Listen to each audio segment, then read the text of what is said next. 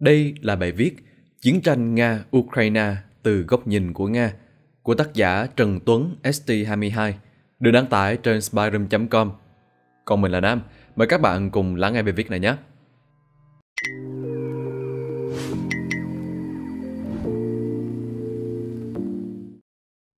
Mục đích của bài viết này nhằm để phân tích, làm rõ quan điểm và góc nhìn của phía Nga xoay quanh vấn đề chiến tranh giữa Nga và Ukraine – qua đó phần nào giải thích được nguyên cớ các sự kiện đã và đang diễn ra. Do vậy, quý độc giả có thể nhìn thấy tôi sử dụng những từ ngữ như chiến dịch quân sự đặc biệt, phi phát xít hóa Ukraine trong bài trên căn cứ góc nhìn từ Nga. Bài viết không thể hiện quan điểm chính trị của tác giả, đồng thời cũng không nêu lên vấn đề ủng hộ bất cứ bên nào có liên quan trong cuộc xung đột này. Căn nguyên xung đột NATO Sơ lược về bối cảnh lịch sử NATO North Atlantic Treaty Organization, tức Tổ chức Hiệp ước Bắc Đại Tây Dương, mục đích thành lập của khối là để ngăn chặn sự phát triển của chủ nghĩa cộng sản và ảnh hưởng của Liên Xô lên các nước châu Âu khi đó. Điều này dẫn đến việc các nước thuộc khối xã hội chủ nghĩa thành lập Tổ chức Hiệp ước Warsaw như là một đối trọng của NATO. Việc hai khối quân sự thù địch nhau Chạy đua vũ trang cũng là cuộc đấu đầu chính trong chiến tranh lạnh từ năm 1947 đến năm 1991. Vào ngày 1 tháng 7 năm 1991, đại diện của Liên Xô, Ba Lan, Bulgaria, Tiệp Khắc và Romania đã đặt bút ký nghị định thư chấm dứt hoàn toàn hiệp ước Warsaw. Sự tăng rã của khối Warsaw dẫn đến việc NATO không còn đối trọng nào nữa. Tuy nhiên, NATO không những không giải tán mà còn tiếp tục tham gia vào các cuộc chiến tranh. Tiêu biểu là NATO ném bom Nam Tư trong chiến tranh Kosovo từ ngày 24 tháng 3 đến ngày 10 tháng 6 năm 1999. Nói sơ qua về tình hình Nam Tư, bắt đầu từ năm 1991, Cộng hòa Liên bang xã hội chủ nghĩa Nam Tư đã dần tan rã trong những cuộc chiến tranh, xung đột liên miên, dẫn đến sự ly khai của hầu hết các thực thể Cộng hòa. Tất cả những gì còn lại khi ấy của Liên bang 6 nước Cộng hòa là Serbia và Montenegro với tên gọi Cộng hòa Liên bang Nam Tư. Dưới chiêu bài lý luận nhân đạo, NATO đã tiến hành cuộc không kích khắp Cộng hòa Liên bang Nam Tư. Tổng thư ký Liên Hợp Quốc khi ấy là ông Kofi Annan đã nói rằng đôi khi sử dụng vũ lực có thể là hợp pháp để theo đuổi hòa bình, nhưng lại chỉ trích hành động đơn phương của NATO Vụ đánh bom của NATO đã giết chết khoảng 489 đến 528 thường dân. Các cây cầu, các nhà máy công nghiệp, các tòa nhà công cộng, các doanh nghiệp tư nhân, cũng như các doanh trại và các cơ sở quân sự bị phá hủy. Vào ngày 4 tháng 2 năm 2003, Cộng hòa Liên bang Nam Tư bỏ phiếu thông qua hiến chương Serbia và Montenegro, chuyển đổi thành Liên minh nhà nước của Serbia và Montenegro dẫn đến sự biến mất hoàn toàn của cái tên Nam Tư trên bản đồ thế giới. Ngày 3 tháng 6 và ngày 5 tháng 6 năm 2006, Montenegro và Serbia lần lượt tuyên bố độc lập, chấm dứt những tàn tích cuối cùng của một nhà nước Nam Tư. Sự can thiệp quân sự của NATO vào Cộng hòa Liên bang Nam Tư là giọt nước tràn ly khi khiến Nam Tư lúc này chỉ còn Serbia và Montenegro hoàn toàn chấm dứt Hệ quả tiêu cực là xung đột giữa Serbia và Kosovo vẫn còn hiện hữu tới tận ngày nay và có nguy cơ bùng phát thành chiến tranh. Từ khi cuộc không kích diễn ra, Liên bang Nga đã kêu gọi Hội đồng Bảo an Liên Hợp Quốc họp để xem xét một tình huống cực kỳ nguy hiểm do hành động quân sự đơn phương của Tổ chức Hiệp ước Bắc Đại Tây Dương NATO chống lại Cộng hòa Liên bang Nam Tư. Tuy nhiên, dự thảo nghị quyết do Nga, Belarus và Ấn Độ cùng biên soạn yêu cầu chấm dứt ngay lập tức việc sử dụng vũ lực đối với Cộng hòa Liên bang Nam Tư đã không nhận được sự thông qua của Hội đồng. Trong số 15 quốc gia thuộc Hội đồng Bảo an Liên Hợp Quốc khi ấy, có 3 quốc gia ủng hộ bao gồm Nga, Trung Quốc và Namibia và 12 quốc gia phản đối, không có phiếu trắng. Từ những sự kiện này, nước Nga không xem NATO là một khối quân sự phòng thủ đơn thuần nữa mà là một mối nguy hại thường trực đến an ninh quốc gia. Mỹ đã từng không ít lần thể hiện sự thèm khát nguồn tài nguyên dồi dào của nước Nga, thậm chí đã từng có một kế hoạch điên rồ khi muốn mua lại vùng Siberia khi nước Nga vừa tách ra khỏi Liên Xô. Xét cho cùng, không một cường quốc nào lại muốn đối thủ của họ đứng ngay trước cửa và mang vũ khí chỉ vào lãnh thổ cả. Tất cả đồng minh của Mỹ không chỉ đồng ý một cách nghiêm túc, hùa theo họ mà còn sao chép hành vi của Mỹ và nhiệt tình chấp nhận các quy tắc mà Mỹ đưa ra. Vì vậy, với lý do chính đáng, chúng ta có thể tự tin nói rằng toàn bộ khối phương Tây do Mỹ thành lập theo hình ảnh của chính họ đều là một đế chế của sự dối trá. Trích lời Tổng thống Vladimir Putin. NATO đông tiến và học thuyết quân sự Liên bang Nga Mỹ chủ trương mở rộng NATO về hướng đông nhằm khẳng định vị thế lãnh đạo của Mỹ trên trường quốc tế với mục tiêu kiềm chế nước Nga. Cụ thể, NATO tiến hành 3 đợt đông tiến. Trong lần mở rộng đầu tiên, biên giới NATO đã được mở về phía đông thêm 900 km, quân số tăng thêm 13 sư đoàn, tiếp nhận toàn bộ vũ khí của các thành viên mới. Tổng quân số NATO khi đó gần 5 triệu quân, chưa tính quân số của Mỹ và các nước ngoài châu Âu. Trong khi đó, Nga có 3,2 triệu quân. Bên cạnh chính sách đông tiến, hệ thống phòng thủ tên lửa của NATO tại Đông Âu cũng là một mối đe dọa to lớn. NATO tuyên bố hệ thống này nhằm chống lại các mối đe dọa từ Iran, nhưng nước Nga lại xem đây là sự bao vây. Tôi xin được nhắc lại rằng không một cường quốc nào lại muốn đối thủ của họ đứng ngay trước cửa mang vũ khí chỉ vào lãnh thổ cả. Học thuyết quân sự Liên bang Nga nhấn mạnh Nga chỉ buộc phải sử dụng sức mạnh quân sự khi không còn giải pháp ngoại giao. Học thuyết quân sự tiếp tục coi sự mở rộng của NATO, hệ thống phòng thủ tên lửa toàn cầu, việc bố trí vũ khí chiến lược trên vũ trụ, phổ biến vũ khí hủy diệt hàng loạt và sự trỗi dậy của chủ nghĩa khủng bố là các mối đe dọa đối với nước Nga. Học thuyết cũng khẳng định rằng việc tăng cường lực lượng quân sự nước ngoài ở các quốc gia và vùng biển sát Nga với mục đích gây sức ép về chính trị, quân sự là mối đe dọa. Nga cũng coi việc thiết lập ở các quốc gia giáp Nga các chế độ có chính sách đe dọa lợi ích của Nga trong đó có việc lật đổ chính quyền hợp pháp là mối đe dọa mới. Nó còn chỉ ra các mối đe dọa khác gồm việc sử dụng công nghệ thông tin cho mục đích quân sự, các hoạt động phá hoại của lực lượng đặc biệt nước ngoài. Moscow từng không ít lần bày tỏ thiện chí gia nhập NATO, không những một mà tận 4 lần. Lần đầu tiên, vào tháng 2 năm 1954, Liên Xô đã đề xuất ký Hiệp định An ninh Tập thể toàn châu Âu với các nước thuộc phe đồng minh trong chiến tranh thế giới thứ hai và bị phương Tây bác bỏ. Lần thứ hai, vào ngày 31 tháng 3 năm 1954, Bộ Ngoại giao Liên Xô đề nghị được gia nhập NATO với điều kiện liên minh này đứng trung lập. Và ngày 7 tháng 5 năm 1954, Mỹ, Anh và Pháp bác bỏ đề nghị với lý do việc kết nạp Liên Xô không phù hợp với tôn chỉ phòng thủ và dân chủ của NATO. Lần thứ ba, vào năm 1983, Tổng bí thư Đảng Cộng sản Liên Xô Yuri Andropov tiếp tục đề xuất Liên Xô gia nhập NATO nhưng vẫn không thành công. Lần thứ tư, vào năm 1991, sau khi Liên Xô tan rã, Tổng thống Nga Boris Yeltsin gửi thư đến trụ sở NATO tại Bỉ, bày tỏ mong muốn gia nhập tổ chức này trong tương lai nhưng vẫn bị khước từ. Bức thư xin gia nhập của Tổng thống Boris Yeltsin có đoạn viết Điều này sẽ góp phần tạo ra bầu không khí hiểu biết và tin tưởng lẫn nhau, tăng cường ổn định và hợp tác ở châu Âu. Chúng tôi rất coi trọng quan hệ này, mong muốn phát triển đối thoại trên mọi phương diện, bao gồm cả chính trị lẫn quân sự. Chúng tôi muốn trở thành thành viên của NATO với mục đích chính trị lâu dài. Hiển nhiên, Mỹ sẽ không thể để Nga gia nhập NATO dù Nga có mong muốn. Hiện nay, dưới thời Tổng thống Vladimir Putin, Nga đã không còn muốn gia nhập NATO nữa. Ông Putin có tham vọng khôi phục lại vị trí siêu cường của Nga như thời Liên Xô trước đây. Nếu Nga gia nhập NATO, ước mơ vẫn sẽ chỉ là ước mơ bởi vì khi là thành viên của NATO, Nga chỉ còn là một cường quốc châu Âu thay vì là siêu cường. Điều này không phải là khát vọng của Putin cũng như của người dân nước Nga. Chưa dừng lại ở đó, việc NATO đòi hỏi các thành viên phải minh bạch trong hoạt động quân sự quốc phòng là điều Nga không bao giờ chấp nhận. Nếu theo nguyên tắc này, họ sẽ phải chia sẻ những bí mật quân sự với NATO. Một lý do khác cũng đáng phải lưu tâm là việc gia nhập sẽ ảnh hưởng đến vai trò của CSTO Tổ chức Hiệp ước An ninh Tập thể. Tổ chức này gồm Nga và một số nước thành viên Liên Xô cũ được thành lập vào năm 1992 để cạnh tranh ảnh hưởng với NATO trong lĩnh vực an ninh toàn cầu. 2. Ukraine và lằn ranh đỏ của Nga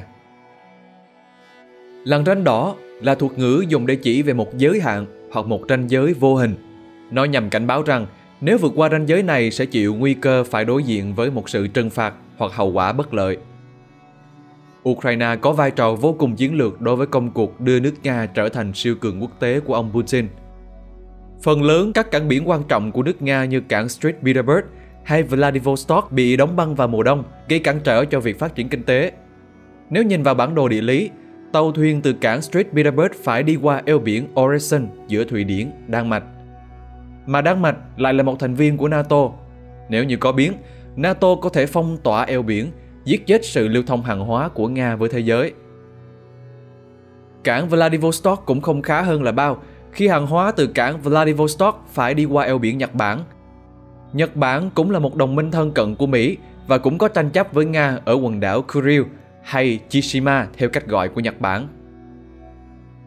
Bán đảo Crimea, cụ thể là cảng Sevastopol, là cảng nước ấm có vai trò sống còn với nước Nga, là cửa ngõ để Nga bước đến danh hiệu siêu cường.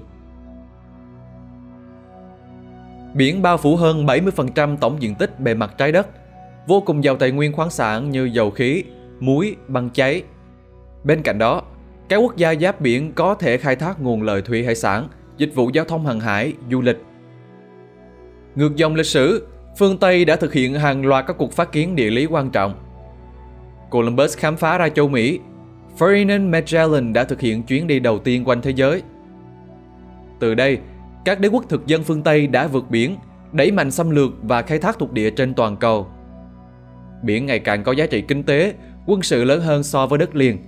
Vì vậy, ngày càng nhiều quốc gia đều xem việc giữ gìn an ninh biển là nhiệm vụ sống còn của đất nước, trong đó có Việt Nam chúng ta. Lấy đại dương nuôi đất liền, tập trung mọi nguồn lực phát triển kinh tế biển và xây dựng lực lượng hải quân hùng mạnh là việc cần làm đầu tiên của các quốc gia giáp biển. Triết gia cổ La Mã Cicero từng nói Ai kiểm soát biển thì người đó kiểm soát được thế giới. Nước Ukraine hiện nay là một phần của nhà nước Roskiev trong thế kỷ 11. Roskiev bao gồm hầu như toàn bộ lãnh thổ Ukraine, Belarus hiện đại với một phần lớn lãnh thổ nước Nga hiện nay. Trong thế kỷ thứ 10 và 11, nó trở thành quốc gia hùng mạnh nhất ở châu Âu. Trong những thế kỷ tiếp theo, nó đặt nền móng cho tính đồng nhất quốc gia của người Ukraine và người Nga. Ukraine và Nga cũng là một phần của nhà nước Xô Viết cũ, là anh em chống lại sự xâm lăng từ Đức Quốc xã. Tuy nhiên, Ukraine lại có ý định gia nhập NATO là làn ranh đỏ đe dọa chặn mọi ngã đường tiến đến siêu cường của Nga. Điều này xuất phát từ việc Ukraine bị chia rẽ sâu sắc, với phía Tây có xu hướng thân phương Tây và phía Đông có xu hướng thân Nga, và Mỹ đã tận dụng triệt để điều này.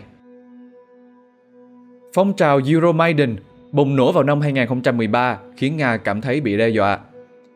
Euromaidan là một làn sóng biểu tình ở Ukraine bắt đầu vào đêm 21 tháng 11 năm 2013. Những người biểu tình đổ xuống đường, cổ vũ cho quan hệ gần gũi hơn với EU.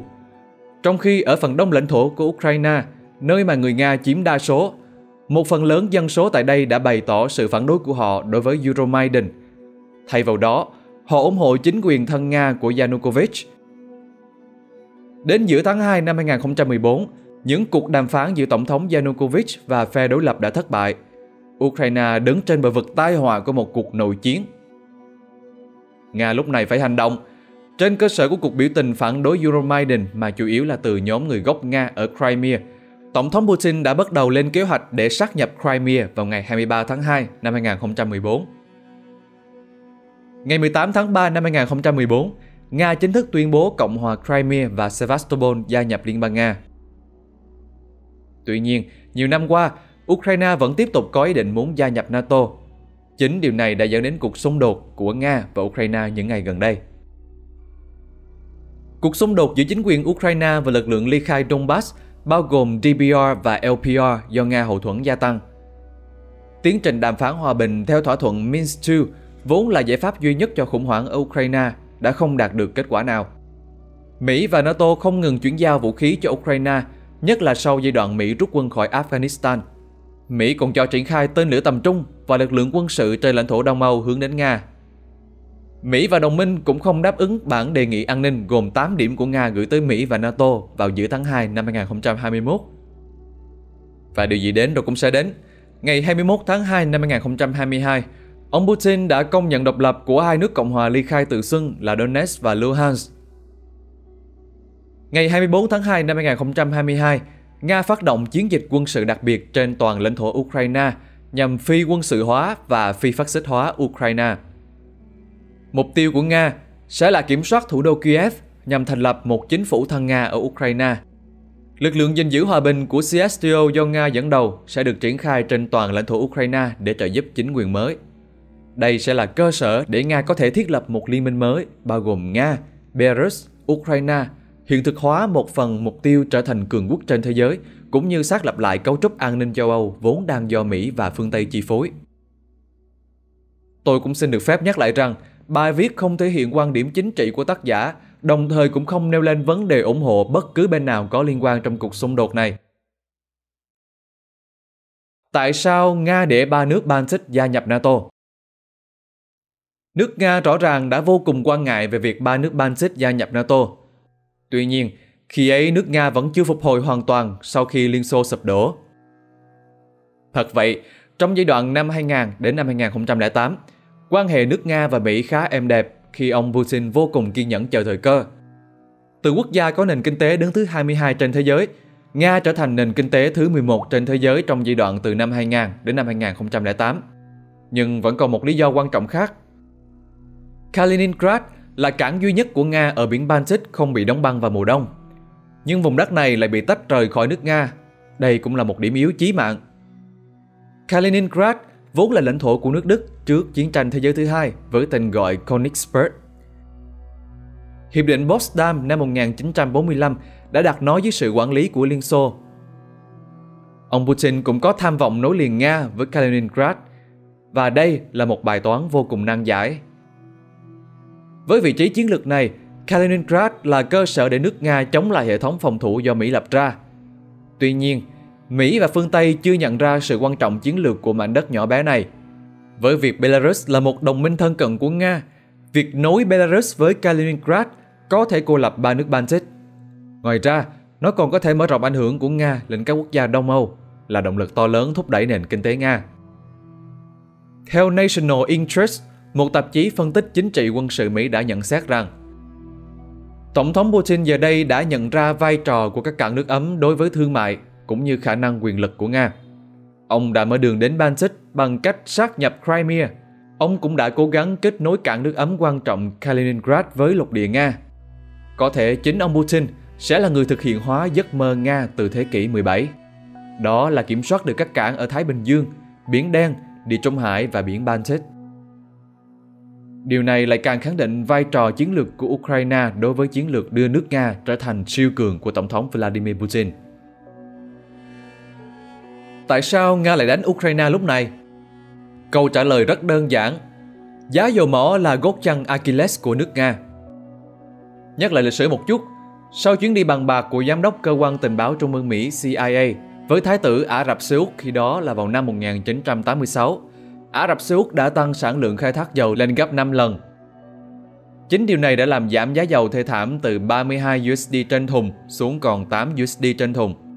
Ngân sách thâm hụt 7,5 tỷ USD và lạm phát tăng vọt. Không lâu sau đó, Liên Xô sụp đổ. Dầu mỏ và khí đốt chiếm khoảng 17% GDP và đến 60% tổng giá trị xuất khẩu của Liên bang Nga vào năm 2021.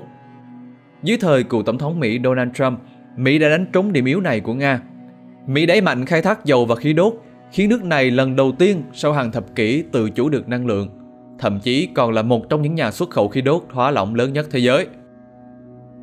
Bên cạnh đó, ông Trump đã áp lệnh cấm vận lên dự án Nord Stream 2 giữa Nga và Đức, khiến mối quan hệ giữa Mỹ và đồng minh Đức trở nên vô cùng căng thẳng. Dự án này là một hệ thống đường ống dẫn khí đốt tự nhiên dài 1.234 km từ Nga đến Đức thông qua biển Baltic Vận chuyển bằng đường ống vốn không xa lạ với ngành dầu khí vì tính hiệu quả của nó trong việc vận chuyển. Dự án được kỳ vọng mang tính thương mại to lớn, có lợi ích cho kinh tế Nga, đảm bảo nguồn cung khí đốt ổn định với giá cả phải chăng cho đất nói riêng và châu Âu nói chung. Đồng thời, nó sẽ làm giảm sự phụ thuộc vào đường ống trung chuyển khí đốt sang châu Âu của Nga qua Ukraine trong bối cảnh căng thẳng như hiện nay. Hiện nhiên, Mỹ và Ukraine không vui vẻ gì về việc này một điều đáng chú ý là mối quan hệ giữa hai nhà lãnh đạo Nga và Mỹ lúc bấy giờ nhìn chung khá thân thiện, bất chấp sự bốc đồng khó đoán của ông Trump. Đến khi Tổng thống Joe Biden đắc cử vào cuối năm 2020, ngay khi nhậm chức, ông Biden đã đảo ngược tất cả các chính sách của người tiền nhiệm. Mỹ không những có thái độ thù địch với Nga, làm leo thang xung đột Ukraine, mà còn vô tình làm cho Nga có khả năng tấn công Ukraine vì đã đẩy giá dầu trên thế giới tăng gấp đôi, từ khoảng 50 USD trên thùng lên trên 100 USD trên thùng. Chính sự tăng giá dầu phi mã này đã giúp Quỹ Tài sản Quốc gia Nga có nguồn vốn vào khoảng 185 tỷ USD và dự trữ ngoại tệ ở mức 615 tỷ USD. Một điểm tựa vô cùng vững chắc cho ông Putin có thể thực hiện và tiếp tục chiến dịch tại Ukraine bất chấp sự bao vây cấm vận của Mỹ và phương Tây. Bà Elena Penina, Giám đốc Viện Chiến lược Kinh tế và Chính trị Quốc tế đã nhận định các biện pháp trừng phạt chống Nga thực ra là vỏ bọc ngụy trang cho việc Mỹ bắt đầu cướp bóc kinh tế châu Âu mà trước hết là Đức. Kịch bản mà giới chuyên gia đã bàn luận từ lâu, như đang thấy, đã tạo ra cơ hội mới cho nền kinh tế Mỹ. Thực tế là hà hư thổi ngạt, tiếp sinh khí cứu vãn nền kinh tế đang nguy ngập vì những khó khăn và lạm phát cao bất thường đối với người Mỹ. Còn dân châu Âu sẽ bị biến thành kiểu nô lệ mới, buộc phải phục vụ cho bá quyền Mỹ. Lời cuối dù sao thì máu đã đổ và vẫn đang tiếp tục đổ tại khắp các chiến trường ở Ukraine. Mong rằng chiến tranh sớm kết thúc để những con người tại vùng chiến sự cũng như những người phải tham gia cuộc chiến này có thể trở lại với cuộc sống bình thường của họ và một trật tự thế giới đa cực dựa trên luật pháp quốc tế sẽ sớm trở lại. Trên đây là toàn bộ nội dung của bài viết Chiến tranh Nga-Ukraine dưới góc nhìn của Nga. Nếu các bạn cảm thấy thích video này, đừng quên nhấn like, share và subscribe để ủng hộ chúng mình nhé. Cảm ơn các bạn đã lắng nghe và hẹn gặp lại các bạn ở những video sắp tới. Còn mình là Nam, đến từ Spa Room.